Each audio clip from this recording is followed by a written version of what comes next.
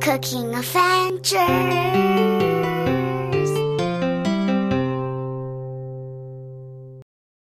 Hi everybody, welcome to Lily's Cooking Adventures. Today my mom's going to make vegetarian curry because we don't eat meat this week. I Mm-hmm. hope you like the recipe. Bye.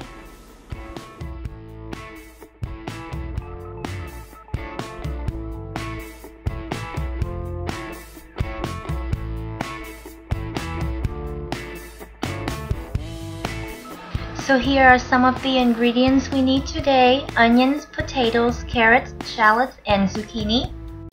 Here's how I cut the vegetables. We also need some lemongrass, tofu, and snow peas. Cut the tofu into about half an inch thick and fry them until both sides are golden brown. Heat up some oil and slightly fry the potatoes.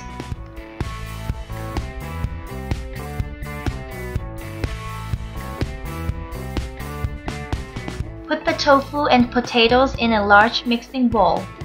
Add a quarter teaspoon of pepper, a quarter teaspoon of onion powder, 1 teaspoon of sugar, 2 teaspoon of curry powder, 1 teaspoon of minced shallot, 1 teaspoon of minced lemongrass, and 2 teaspoons of annatto seed oil. Mix well and set aside for about 15 minutes to marinate. While waiting, let's mix together 1 teaspoon of cornstarch with 2 tablespoons of water. Heat up some oil and saute the shallots until fragrant. Add the potatoes and tofu, then fry for about 30 seconds.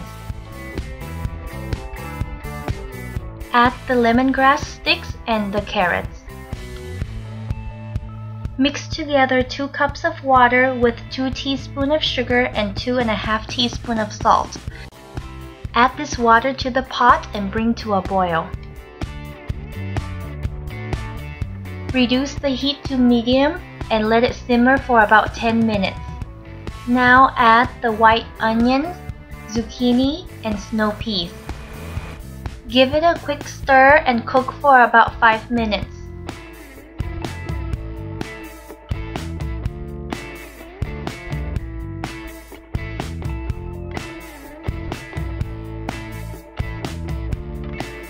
Now add a can of coconut milk and bring it to a boil.